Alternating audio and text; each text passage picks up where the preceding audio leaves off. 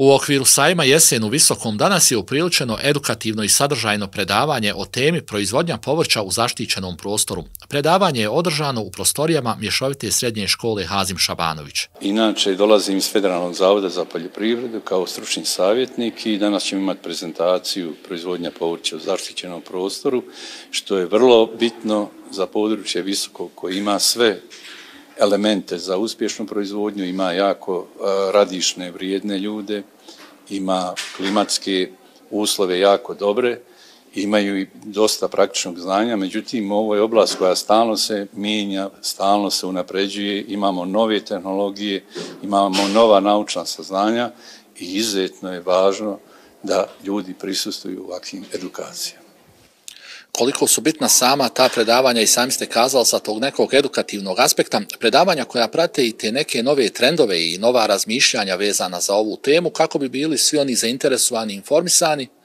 na vrijeme onome što, bi, što ih zanima i kako bi on naravno u svojoj sferi djelovanja mogli poboljšati i svoju proizvodnju i svoj rad.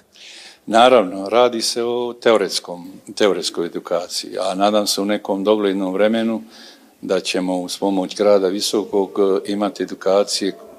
praktične na terenu, znači u objektima zaštićenog prostora kod nasi, naših proizvođača i pokušavati unijeti ove nove tehnologije, nova saznanja, tako da budu svi zadovoljni. Sagovornik je poručio i da ova djelatnost ima perspektivu kako u Visokom, tako i u cijeloj Bosni i Hercegovini. E, što se tiče grada Visokog, mislim da imaju izuzetno povoljne uslove, prije svega tržišne Sarajevo kao centar konsument jako blizu, imamo jako dobre proizvođače, velike proizvođače, vrijedne proizvođače koji koriste savremene tehnologije, koji uvode ove principe integralne proizvodnje, integralne zaštite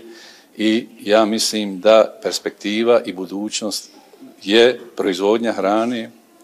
očuvanje naravno svih ovih faktora koji imamo okolo kao što je voda, zemlja i ostalo i mislim da je to